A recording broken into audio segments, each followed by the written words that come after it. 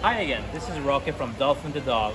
We're here at ABC Animal Training course and with these lovely animals taking that course, we could see the operant conditioning of what these two programs is about. But as you see how important the target is for the animal to learn, to follow, to shape that behavior where you want that behavior to become or to shape in the future.